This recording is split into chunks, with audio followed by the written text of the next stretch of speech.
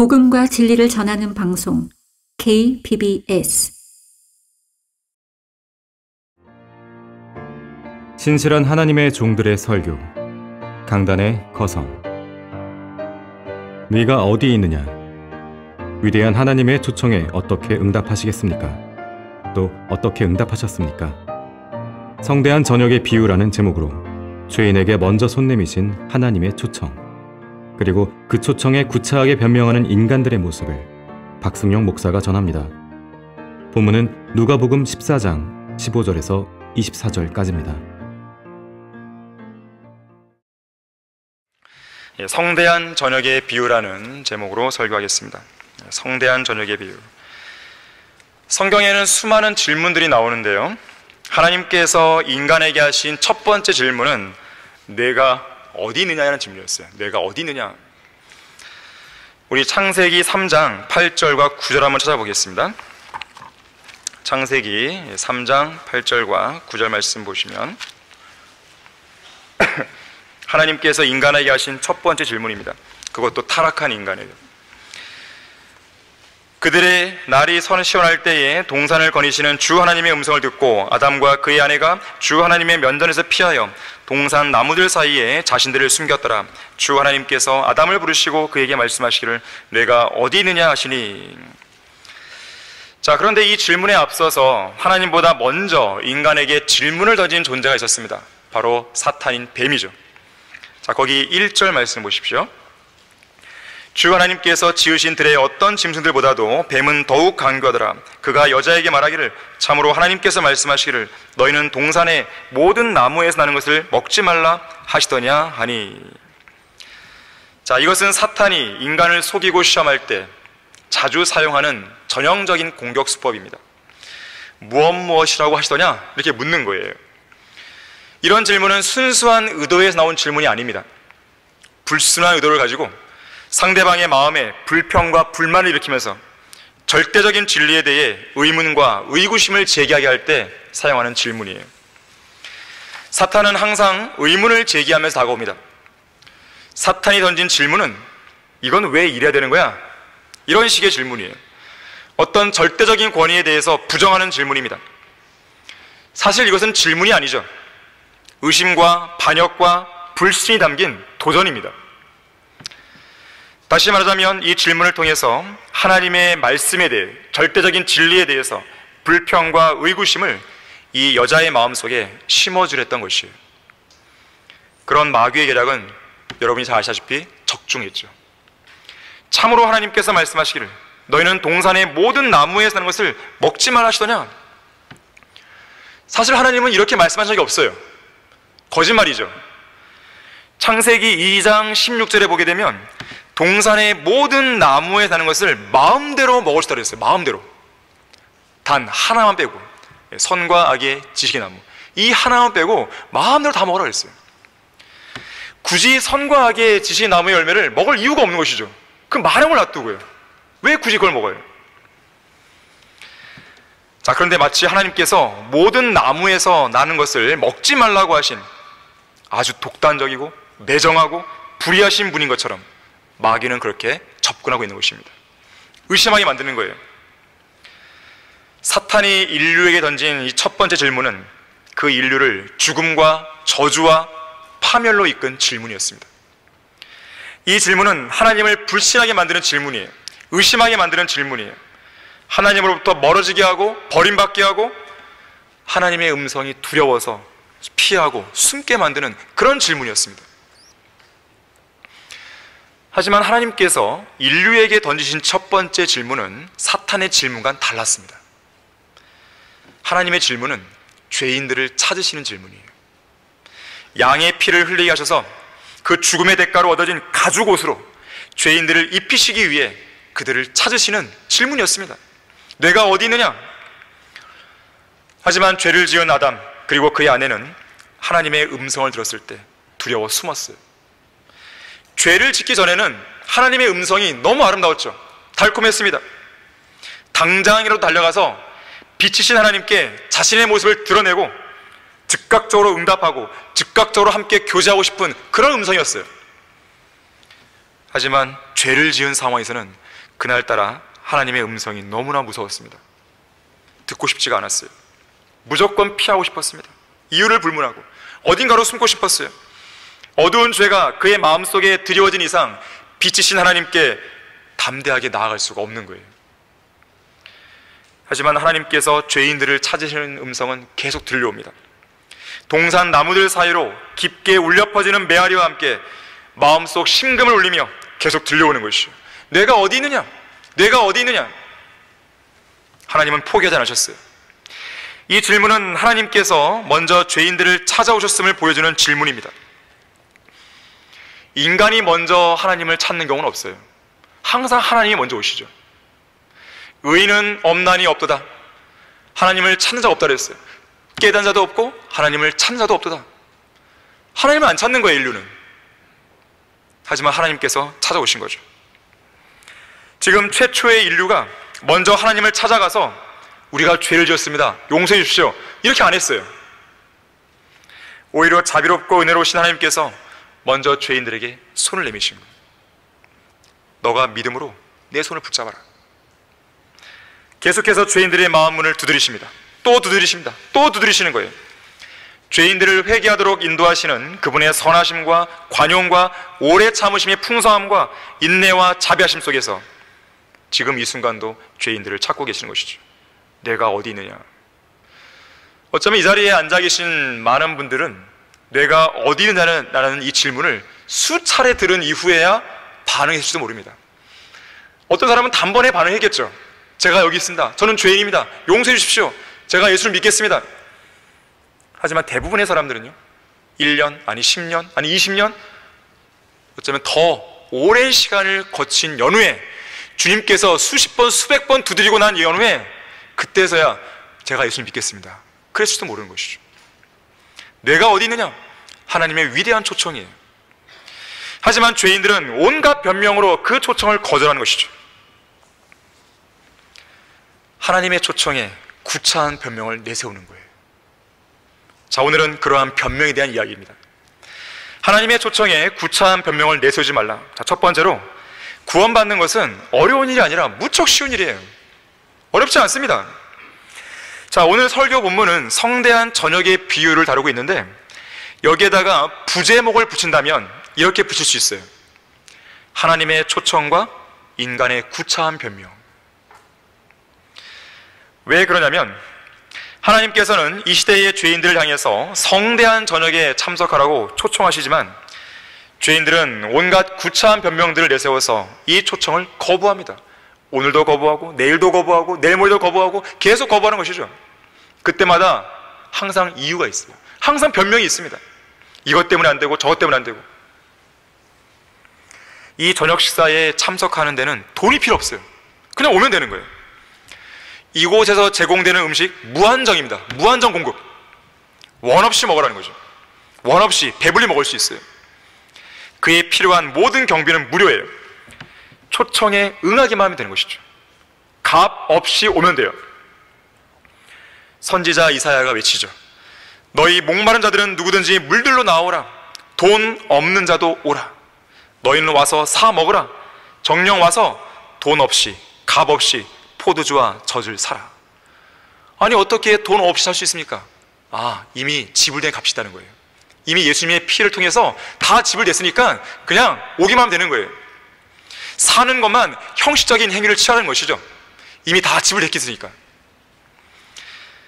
하지만 오늘날 이 초청에 응하는 사람들이 그리 많지 않다는 것을 우리는 마주하게 됩니다. 이런저런 변명으로 하나님의 초청을 무시하면서 미꾸라지처럼 슬쩍 빠져나가 버리는 것이죠.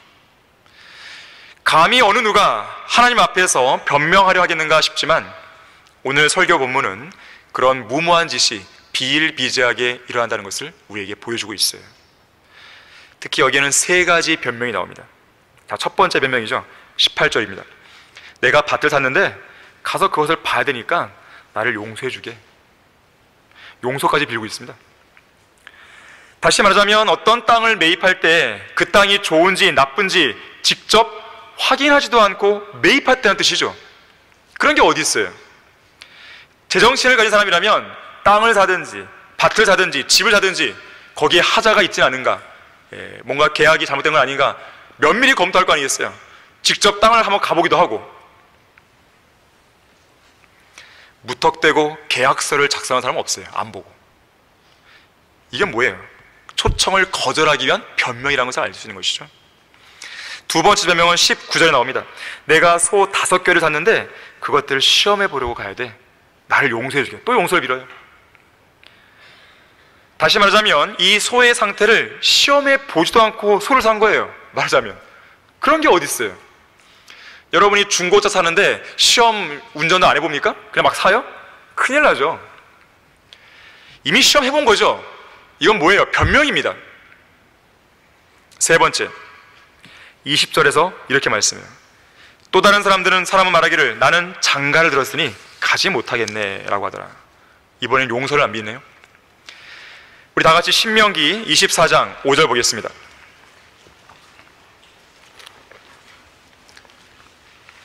자, 신명기 24장 5절을 예, 보시면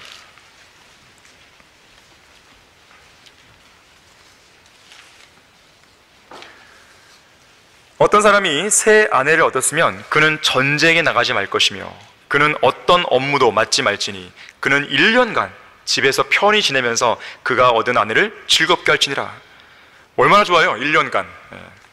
구약의 율법에 따르면 아내를 얻은 사람은 전쟁도 안 나도 돼요 면제. 어떤 업무도 안 맡아요. 1년간이. 아내를 즐겁게 해주는 거예요. 자기를 즐겁게 하는 것도 아니고 아내를 즐겁게. 이 땅의 자매들이 가장 좋아하는 구절이죠. 그런데 성대한 저녁으로의 초대는요, 전쟁에 나가는 문제가 아니잖아요.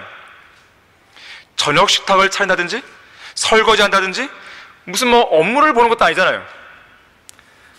더군다나 성대한 저녁에 초청받는 것은 아내를 즐겁게 해준 거잖아요. 그런데 예, 이 사람은 거절하고 있는 것이죠. 변명이에요, 변명. 그야말로 여기에 나오는 세 가지 변명은 세상에서 흔히 접하게 되는 시답잖은 변명들입니다.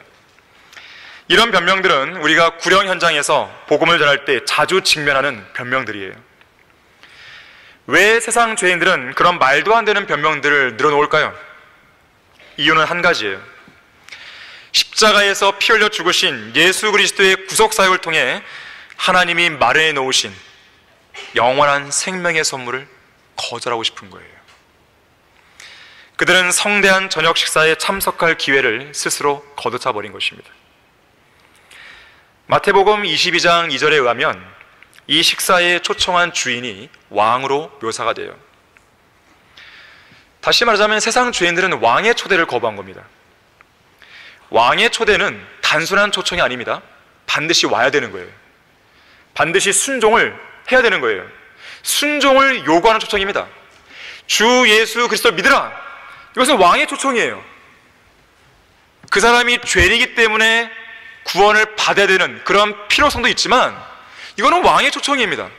반드시 순종해야 돼요. 믿어야 되는 것이에요. 무슨 일이 있어도 그 초대에 응해야 되는 것입니다. 그래서 초청을 거절하게 되면 왕을 거절하는 것이고 왕을 모독하는 것이고 결국 화를 자초하는 거예요. 그래서 지옥 가는 것입니다. 왕의 초대를 받았는데 그 초청에 대해서 변변찮은 변명들을 댄다면 아무리 그 변명이 정당하다고 한들 그것은 왕을 모독하는 거예요. 모든 일을 다 제쳐두고 주님께로 나와야 되는 것이죠. 모든 일을 다 제쳐두고 예수 그리스도를 믿어야 되는 거예요. 그 순간. 다른 게 중요한 게 아니에요. 생명이 달린 문제인데. 결국 그런 사람들은 변명을 하다가 마귀처럼 살게 되고 지옥 가는 것입니다. 그것은 지옥에나 들어가겠다고 하는 어리석고 완고한 자기 변명이자 허세입니다. 특히 우리가 살고 있는 이 교회 시대에 죄인이 구원받는 것은 결코 어려운 일이 아니기 때문에 구원으로의 초청에 어떤 변명도 통하지가 않습니다. 어렵다면 뭐 얘기할 수 있겠지만 어려운 게 아닌데 무슨 변명을 해요? 내가 예수님을 믿지 못할 이유가 뭐가 있어요? 뭐가 있단 말이에요? 시간이 문제예요? 뭐 장소가 문제예요? 뭐 건강이 문제예요? 침상에 병으로 누워 있다 하더라도 누운 상태로 영접 기도 하면 되는 거 아니겠습니까? 뭐가 어렵단 말이에요? 어떤 변명도 통하지 않습니다. 하나님께서는 우리가 구원받는 방법을 아주 쉽고 아주 단순하게 만드신 거예요. 왜 그런지 아십니까? 하나님의 사랑이에요. 하나님의 자비입니다. 하나님의 은혜예요. 복잡하게 안 만드셨습니다. 그래서 바울도 이렇게 얘기하죠. 나는 뱀이 그의 간계로 이불을 속인 것 같이 너희의 마음도 어떤 방법으로든 그리스도 안에 있는 단순함에서 떠나 부패할까 두려워하노라. 구원의 복음에 관한 한 그리스도 안에 있는 단순함에서 떠나면 안 돼요. 떠나면 부패하게 됩니다. 부패하면 구원도 못 받고 버림받게 되는 거예요. 버림받으면 결국 영원한 불못에서 영원한 고통을 받게 되는 것이죠. 구원받는 것은 물을 마시는 것처럼 쉬운 거예요. 요한계시록 22장 17절에서 말씀합니다. 또 성령과 신부가 말하기를 신부는 교회죠. 오라 하더라. 듣는 자도 오라 말하게 하고 또 목마른 자도 오게 하며 원하는 자는 누구든지 생명수를 값없이 마시게 하시다. 아니 내가 원하는데 주님께서 왜 물을 안 주시겠어요? 원하지 않으니까 물을 안 주시는 거죠. 목이 마르십니까? 그렇다면 저기 예배당 문 바깥쪽 창가에 있는 정수기에서 물 마시면 되는 겁니다. 지금 말고요. 네. 누군가가 다가와서 물 마시는데 왜 돈 안 내요? 이렇게 안 한단 말이에요. 물론 그런 사람이 없겠지만 집에도 가지 않고 계속 먹겠다. 계속 드세요. 네. 아무도 안 말립니다. 성경은 죄의 삭은 사망이요 하나님의 선물은 예수 그리스도 우리 주로 말미암은 영원한 생명을 있습니다. 선물이에요. 값없이 주어지는 선물. 값없이 주어지는 선물인데 굳이 돈을 주고 왜 사냐 이거예요, 이거를. 굳이 자기의 의를 내세워서 왜 살려고 하냐 이거예요. 바보 같은 거죠. 선물인데. 우리가 구원을 위해 할 일은 아무것도 없어요. 그냥 믿으면 되는 겁니다. 왜요? 다 이루었다라고 예수님이 말씀하셨어요. 구원받는 것은 더울 때 샤워를 하는 것과 더 쉬워요. 더우면 샤워하면 됩니다. 저는 군대에서 샤워하는 것이 얼마나 감사한 일인지 배웠습니다. 처음 신병훈련소에 입소했을 때 샤워를요, 뭐 물 틀어놓고 하는 게 아니라 바가지 세 번으로 해결합니다. 훈련 조교가 바가지를 한 번 푼다 실시하면 욕조에 담긴 물을 바가지로 퍼서 온몸에 일단 뿌려요. 한 번 뿌립니다. 그리고 비누칠한다 실시 그러면 비누칠합니다. 이때 비누칠할 때요 거품을 막 내갖고 막 칠하면 안 돼요. 남은 바가지 수가 딱 두 개이기 때문에 그걸 어떻게 해결할 수가 없습니다. 중요 부위만 대충 해결해야 돼요. 그리고 바가지를 한 번 푸나 실시 또 하죠. 그러면 중요 부위를 중심으로 해서 비누 거품을 제거합니다. 마지막으로 바가지를 한 번 푼다 실시하면 마지막 한 번 그 바가지를 퍼서 끝내는 거예요. 끝이에요. 그리고 나가야 됩니다. 그래서 저는 군대에서요 샤워를 원 없이 하고 해고 싶었어요. 그런데 어느 날 우리 소대가 마지막 순번으로 샤워하는 순간이었어요. 그날따라 조교가 우리에게 마지막으로 마음껏 샤워할 수 있는 은혜를 우리에게 베풀었어요. 새 바가지로 샤워하게 한 다음에 대원들 욕조로 뛰어든다 실시. 와 그때의 행복감은요 예, 이로 말할 수가 없는 것이에요. 신나게 뛰어들어서 막 소리치면서요 막 원 없이 막 그 물속에 잠겨 있었어요. 구원받길 원합니까? 구원받으면 되는 것이에요. 믿으면 되는 것이에요. 물 마시는 것처럼 샤워하는 것처럼 그냥 하면 되는 것입니다. 예수 그리스도께서 한 문둥병자에게 이렇게 물으셨어요. 뇌가 깨끗해질 원하느냐? 네, 깨끗해져라. 네. 끝이에요. 네, 그러옵니다. 주님 저를 깨끗하게 해주십시오. 주님께서 너의 믿음대로 될지니 깨끗해질지어다. 이게 바로 구원이에요. 구원받기 원하는가? 그러면 예수 그리스도를 자신의 구주로 믿으면 되는 것입니다. 이것이 그렇게 어려운 일 아닙니다. 구원을 복잡하게 생각하면 안 돼요. 단순하게 생각하면 됩니다. 주님께서 하신 말씀대로 내가 믿었으면 끝난 거예요. 하지만 오늘날 제도권 교회에서는 구원을 너무 어렵게 만드는 거예요. 너무 복잡하게 만드는 거예요. 박옥수 목사 같은 경우는 예, 구원을 이제 신비로 하는 것이죠. 죄사함의 비밀. 죄사함 비밀 그런 거예요, 비밀. 죄사함이 왜 비밀이에요? 공개적으로 다 알려졌는데. 그래서 그 사람은 일주일 내내 집회를 하는 거예요. 그리고 마지막 날에 가서야 복음 비슷한 걸 전하는 것이죠. 그러면 그 전에 6일 동안에 죽으면 어떻게 되는 거예요? 지옥 가는 거예요? 왜 그렇게 복음을 그렇게 질질 끄냐 이거예요. 지금 당장 우리가 어떤 죄인을 만나면 바로 우리는 구령할 수 있는 거예요. 말씀을 제시해서. 구원받는 건 어려운 게 아닙니다. 하나님의 초청에 구차한 변명을 내세우지 말아야 됩니다. 두 번째로 변명은 또 하나의 거짓말입니다. 자신의 잘못과 실수를 감추고 정당화하기 위한 속임수로서 거짓말의 또 다른 형태입니다. 거짓말의 아비인 마귀가 좋아하는 것이 바로 변명이에요. 여러분 변명하지 마세요. 어떤 상황에서도요. 정직하셔야 됩니다. 변명하는 것만 봐도요. 그 사람이 어떤 영의 인도를 받고 있는지 충분히 가늠할 수 있습니다. 변명 이면에는 어떤 문제에 대해서 책임지기 싫어하는 비겁함이 숨어 있습니다. 책임을 지는 것보다 변명하는 것이 더 쉽기 때문에 사람들은 습관적으로 변명하는 거예요. 습관적으로 핑계거리를 떠올립니다. 자기의 방어말 딱 치는 거죠. 아, 이건 이것 때문에 그래요. 아, 저건 저것 때문에 그래요. 변명 들으려고 그런 게 아니잖아요, 우리가. 문제에 딱 직면하게 되면 변명을 하면 안 됩니다. 그 문제에 딱 직면했을 때 자기 자신의 모습을 적나라하게 보시고 그 부분에 맞게 행동하시면 되는 겁니다. 고치면 되는 것이에요.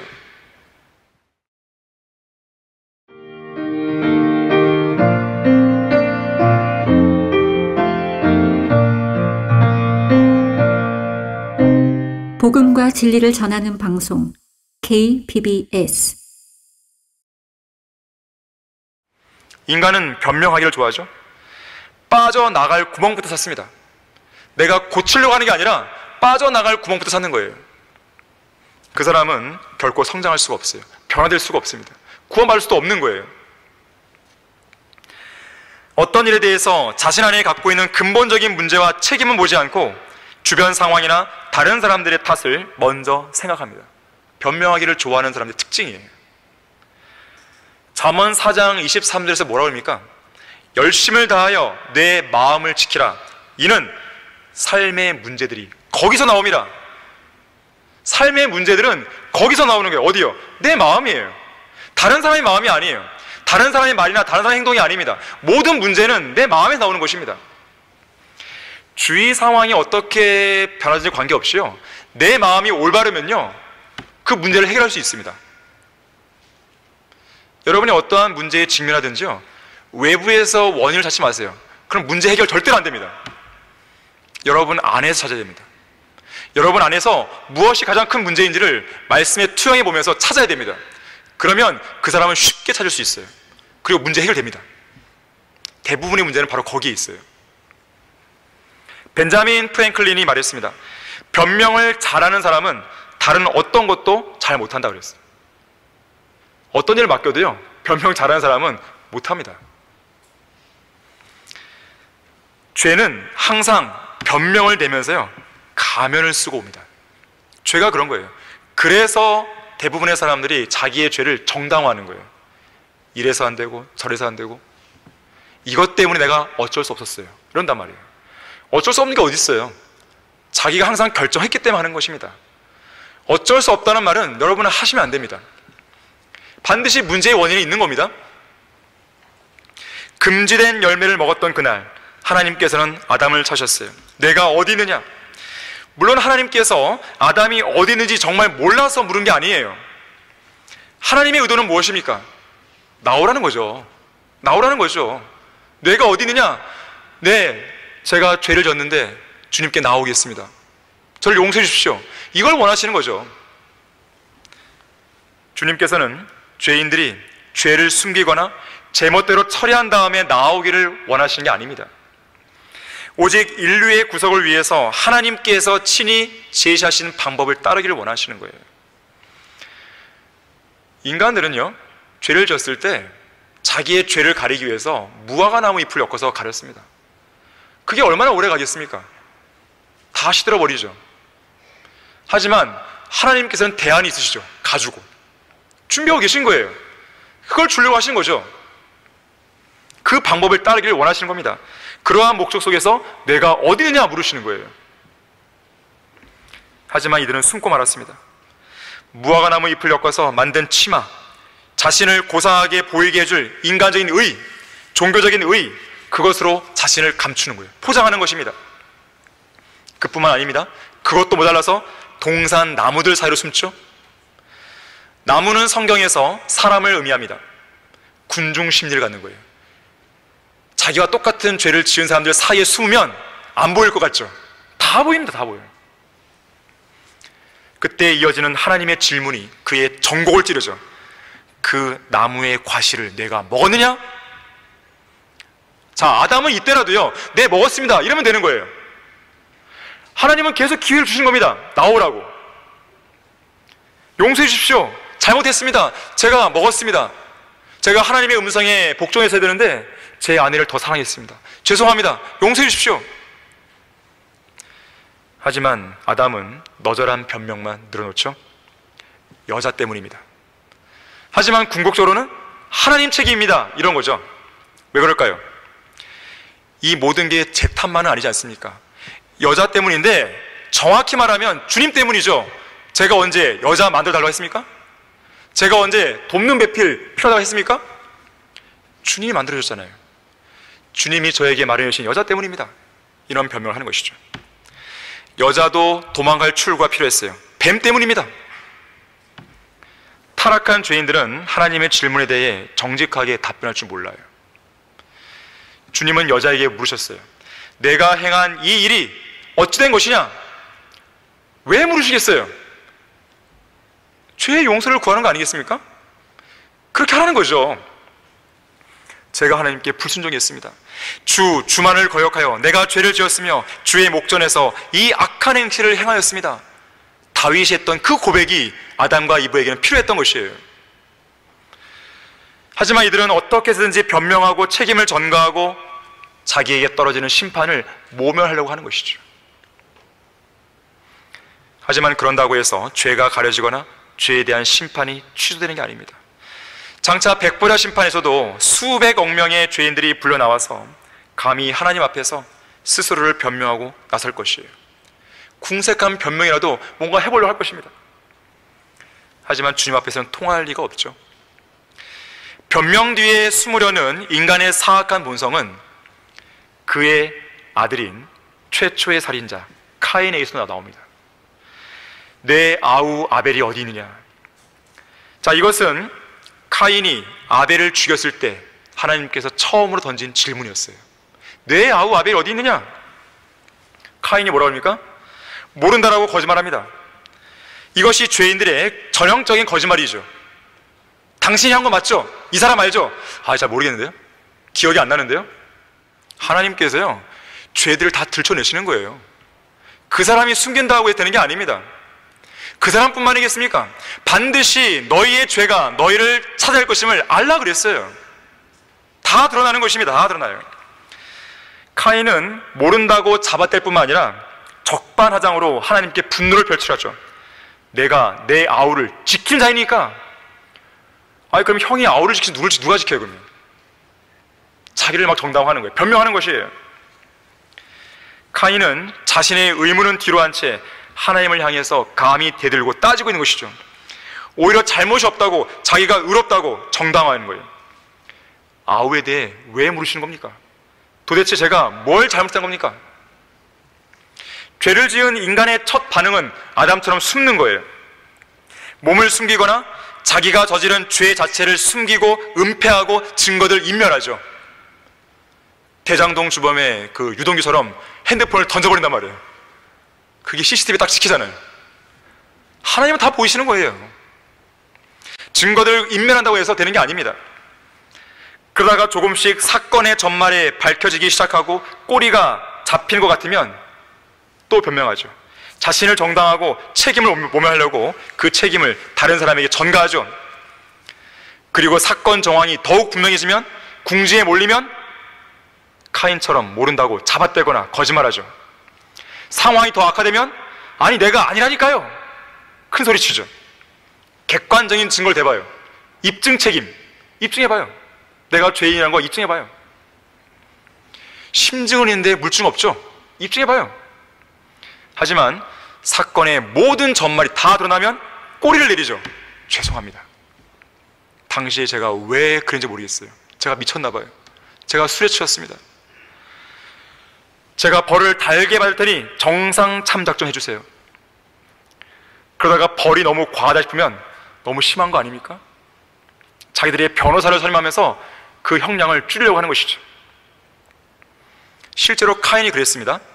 모든 사건의 전말이 다 드러나고 증거가 명백하게 제시되고 그 죄에 대한 심판과 저주가 내려졌을 때 카인이 뭐라 그래요? 내 벌이 내가 감당하기 너무 크니이다. 처음에 적반하장으로 나왔던 것과 너무 다르죠. 자, 변명은 변명을 낳습니다. 하지만 하나님 앞에서는 어떤 변명도 통하지 않는다는 것을 유념해야 됩니다. 그러면 어떻게 해야 됩니까? 있는 그대로 나와야 되는 거예요. 숨기면 안 됩니다. 하나님 앞에서는 어떤 것도 숨길 수 없다는 것을 깨닫고 있는 그대로 주님 앞에 나와서 다 알아야 되는 것이죠. 자백하고 돌아서야 됩니다. 자기 죄들을 숨기는 자는 번성하지 못할 것이나 죄들을 자백하고 버리는 자는 누구나 자비를 얻으리라. 자비를 얻는 거예요. 하나님의 초청에 구차한 변명을 내세우면 안 됩니다. 마지막 세 번째로 변명은 비참한 말로를 낳아요. 이스라엘 최초의 왕이었으나 불법적인 왕 사울은 자기 죄를 좀처럼 인정하지 않는 변명 때문에 하나님에게서 버림받은 왕이 되고 말죠. 나단 선지자의 경고를 듣고 하나님 앞에서 곧바로 죄를 인정한 다윗 왕과는 사뭇 대조적인 모습입니다. 사무엘상 13장과 사무엘상 15장에서 우리는 사울의 변명을 보게 됩니다. 사무엘상 13장에 보게 되면 이 사울과 이스라엘 백성들이 필리스티안들과 전쟁을 치릅니다. 전쟁을 치르기 위해 그들은 길갈에 모여 있었어요. 그런데 앞에 있는 적들의 규모를 보니까요. 3만의 병거, 6천의 기병, 그리고 해변에 모래만큼 수많은 군대가 보입니다. 당황한 이스라엘 백성은 하나님을 온전히 신뢰하지 못한 채 두려워 떨었어요. 그 모습을 지켜보던 사울도 마음이 초조해집니다. 정기적으로 드리는 희생제를 위해서 사무엘이 정해준 때가 있었는데 그 때를 따라 7일, 7일을 기다려야 되는데 사무엘이 안 옵니다. 마음이 조급해지죠. 마음이 다급해집니다. 결국 사울은 하지 말았어야 할 제사장의 일을 수행하고 말죠. 사울 왕에게는 제사장으로서의 임무가 주어지지 않았습니다. 마지막 순간까지 끝까지 지속해서 하나님을 신뢰하는 가운데 사무엘을 기다렸어야 되는 것이죠. 하지만 그렇게 안 한 것이죠. 항상 모든 영적인 문제는 하나님만을 바라보지 못하고 주변 상황을 바라볼 때 생깁니다. 또한 자신에게 주어진 직분과 권위를 초월해서 무언가를 주제 넘게 행할 때 문제가 생기는 거예요. 바로 사울에게 그대로 적용되는 모습입니다. 우리 다 같이 사무엘상 13장 10절 한번 보겠습니다. 사무엘상 13장 10절 말씀을 보시면 사울이 번제 드리기를 마치자마자 보라 사무엘이 온지라 사울이 그에게 문안하려고 나가 맞더라 그랬어요. 기가 막힌 타이밍을 보십시오. 사울이 번제 드리기를 마치자마자 사무엘이 옵니다. 사울은 그 잠깐, 그 찰나를 기다리지 못한 거예요. 그 마지막 한순간을 참지 못한 것입니다. 기다리지 못하는 것은 인간의 연약한 본성이죠. 이와 비슷한 사례가 출애굽 당시에 시내산에 있었습니다. 모세가 시내산에 올라가서 하나님으로부터 율법을 받고 있을 때 산 아래에 있던 백성들은 그 사이를 기다리지 못하고 모세가 지체되는 것에 불만을 품습니다. 그리고 금송아지를 만들고 우상숭배를 하게 되는 것이죠. 그들이 기다리지 못한 것, 바로 거기에서 비롯된 죄였던 것이에요. 오늘날도 예수 그리스도의 재림을 기다리지 못하고 세상과 죄로부터 성별리지 못한 채 살아가고 있는 성도가 너무나 많은 것이죠. 어쩌면 어떤 성도는 죄를 짓자마자 예수님 오실지도 모르는 거죠. 그 찰나를 못 기다리고요. 우리는 우리가 해서는 안 될 죄를 짓자마자 공중 재림하시는 예수 그리스도를 마주하는 일이 생겨서는 안 되는 것이죠. 기다리지 못해서 우리 각자가 잘 지켜왔던 믿음의 영역을 무너뜨리면 안 됩니다. 결국 이 일로 인해서 하나님은 사울 왕을 거절하기 시작하세요. 자, 그런데 더 큰 문제가 있어요. 사울은 자신의 죄에 대해 변명으로 일관한다는 거예요. 잘못했습니다. 이렇게 안 한단 말이에요. 자, 거기 11절, 12절 보세요. 사무엘이 말하기를 당신이 무엇을 하였나이까? 지금 묻고 있는 거예요. 뭐 했냐고. 그럼 어떻게 돼요? 잘못했습니다. 용서해 주십시오. 이래야 될거 아니겠어요? 사울이 말하기를 내가 보니 자 변명합니다. 백성은 나로부터 흩어지고 당신은 정한 날에 오지 않으며 책임 전가죠? 당신 때문입니다. 당신이 늦게 왔잖아요. 필리스타인들은 믹마스에 모여 있으므로 내가 필리스타인들은 이제 길갈로 나를 향해 내려오는데 나는 죽게 간구드리지 않았다라고 말하고 이에 내가 부득불 번제를 드러나이다. 어쩔 수 없었습니다. 변명이죠. 백성들은 두려워 터지고 사무엘 당신은 정한 날에 오지 않고 대적들은 모여서 우리에게 다가오는데 번제는 안 드렸고 어쩔 수 없었습니다. 문제는 하나둘씩 생겨나고 위기는 당장이라도 들이 닥칠 것처럼 코앞에 닥쳐 있고 하나님의 응답과 인도하심은 보이지 않고 주님께서 오신다는 약속도 지체되고 어쩔 수 없이 제가 했습니다. 하나님께서는 불순종하고서도 정직하게 죄의 용서를 구하지 않고 이러한 변명을 늘어놓는 사울을 마음에서 지우기 시작하셨어요. 하지만 자비로우신 하나님께서는 이 사울에게요 한 번 더 기회를 주십니다. 아말렉과의 전투예요. 자 사무엘상 15장 1절 보십시오. 한 번 더 기회를 주시는 거예요. 오래 참으시는 거죠. 인내하시는 분이죠. 또 사무엘이 사울에게 말하기를 주께서 나를 보내셔 왕에게 기름을 부어 그의 백성 즉 이스라엘을 치리할 왕으로 삼게 하셨으니 이제 왕은 주의 말씀의 음성에 경청하소서 한 번 더 기회를 주는 거예요. 자, 경청해야 될 하나님의 말씀의 음성은 뭐였을까요? 아말렉을 완전히 진멸시켜라 이거였어요. 끝장내야 된다. 실제로 하나님께서는요, 그 명령을 준수할 수 있도록 그 전쟁에서 승리하게 해주십니다. 하지만 사울은 이번에도 역시 그들을 완전히 진멸하지 않고 아말렉인들의 왕 아각을 살려두고 가장 좋은 짐승들을 남겨둡니다. 하나님의 명령에 부분적으로 순종한 것이죠.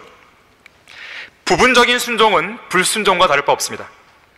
그리스도인은 하나님의 명령에 온전히 순종해야 돼요. 하라고 하신 것, 하지 말라고 하신 것 다 마찬가지예요. 하나님께서는 주님의 명령에 대해서 인간적인 기준을 가지고 하려면 하고 말려면 말하라. 뭐 취사 선택해라. 이런 거 없어요. 해도 되고 안 해도 되고 이런 거 없단 말이에요. 반드시 해야 되고 또 하지 말 것은 반드시 하지 말아야 되는 것이죠. 자신의 인간적인 발상을 가지고요. 아, 이 정도는 괜찮겠지. 누가 그런 명령을 줬단 말이에요. 그런 거 없습니다. 자신의 인간적인 발상을 내세웠다고 하는 것은 하나님의 말씀보다 그것을 권위 있는 기준으로 삼았다는 것이죠. 그것이 바로 사울의 모습이에요. 사울은요, 하나님 보시기에는 다 진멸시켜야 될 것들이었는데, 사울은 자기가 보기에 천하고 쓸모없는 것들만 진멸시키고, 예, 다른 것들은 좀 남겨두는 것. 이것이 옳았다고 생각하는 것이죠. 결국 하나님께서는 사울을 왕으로 삼으신 것을 후회하십니다. 하지만 더 큰 문제는 이러한 불순종에도 사울은 회개하지 않고 변명을 늘어나요. 자, 15절 보세요.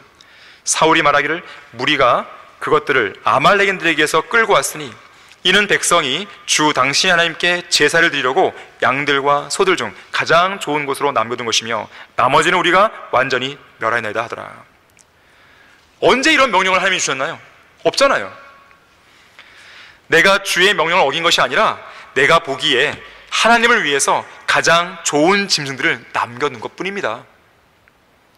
사울 왕은 하나님의 일이라는 핑계로 자신의 죄를 정당하고 변명한 겁니다. 자, 이것은 사울이 하나님의 명령에 순종하는 것보다 탈취물에 관심이 있었음을 보여주는 대목이에요. 19절 보십시오. 어찌하여 왕은 주의 음성에 복종하지 아니하고 탈취물에만 달려들어 주의 목전에서 악을 행하나이까. 여기서도 사울은 예, 죄를 예, 죄의 용서를 간구하지 않죠. 끝까지 또 변명합니다. 13절에서 그랬고 15절에서 그랬고 여기 19절에서 사무엘의 강력한 책망에도 20절, 21절에서 끝까지 변명하는 것이죠. 정령 내가 주의 음성에 복종하여 주께서 나를 보내신 길로 갔으며 아말렉 왕 아각을 끌어왔고 아말렉인들을 완전히 멸하였나이다. 그러나 백성이 완전히 멸하였어야만 했던 탈취물 중에서 주 당신의 하나님께 길갈에서 제사를 드리기 위하여 좋은 것으로 양들과 소들을 취하나이다. 완전히 멸했어야 한다고 스스로 말하면서도 하나님을 핑계 삼아 아각 왕도 살려두고 좋은 것들을 남겨뒀다고 말하는 이중적인 태도를 보여주고 있는 것이죠. 사울 왕이 왜 그랬을까요? 그가 이렇게 행동했던 진심이 24절에 나옵니다. 내가 죄를 지었나이다. 내가 주의 계명과 당신의 말씀을 어겼으니 이는 내가 백성을 두려워하고 그들의 음성에 복종하였습니다. 이것이 근본적인 원인이었어요. 하나님을 온전히 바라보지 못하고 주위 환경을 바라보고 주위 사람들을 더 두려워했다는 데 있는 것입니다. 사람을 두려워하면 덫에 걸리나 주를 신뢰한 자는 누구나 안전하다고 그랬습니다. 자, 사울 왕이 그렇게 했던 행동은 백성들을 두려워하고 그들의 음성에 복종한 결과였어요. 하지만 하나님께서 진정으로 원하시는 것은 그것이 아니죠. 온전한 순종이에요. 그래서 22절, 23절에서 이렇게 말씀하죠.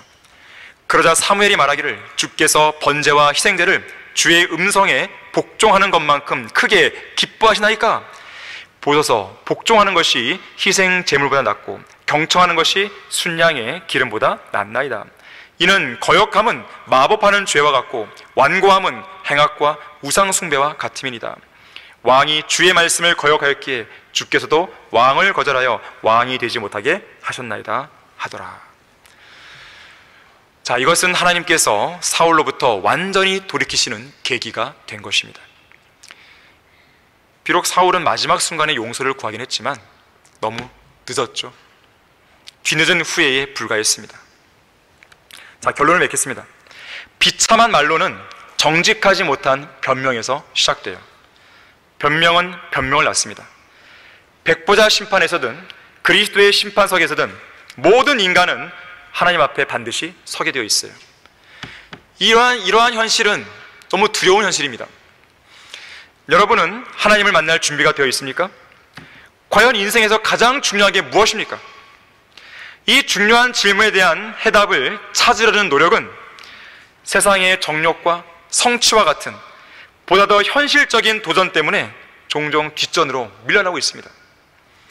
언제까지 변명으로 일관하면서 하나님의 초청을 피하겠습니까? 언제까지 변명을 일관하면서 구원을 위한 초청을 거절하겠습니까? 언제까지 변명에 변명을 더하면서 하나님 앞에 헌신하라는 초청을 거부하겠냐 이거예요. 언제까지 말도 안 되는 변명으로 하나님 앞에 섬김과 복종과 사역으로의 초청을 무시하냐 이거예요. 그리스도의 심판석에조차 변명으로 일관하시겠습니까? 전능하신 하나님 앞에서는 결코 변명이 통하지 않습니다. 이제는 그들이 자기들의 죄에 대하여 변명할 것이 없도다. 요한복음 15장 22절 말씀입니다. 자, 오늘 우리는 주의 만찬에 참여했습니다. 예수 그리스도의 죽으심을 기념하기 위해서요. 이러한 주의 만찬에 참여할 자격이 있는 그리스도인들은 저 셋째 하늘에서 있을 성대한 저녁 식사에 참여하게 됩니다. 만왕의 왕이시오 만주의 주이시며 우리의 창조주시고 구속주이시며 심판주이신 주 하나님의 부르심과 초청 앞에 어떠한 변명도 하지 않고 온전한 순종으로 응답하는 신실한 성도들 되기를 바라겠습니다. 자, 다 같이 기도하겠습니다. 이상 강단의 거성을 마치겠습니다.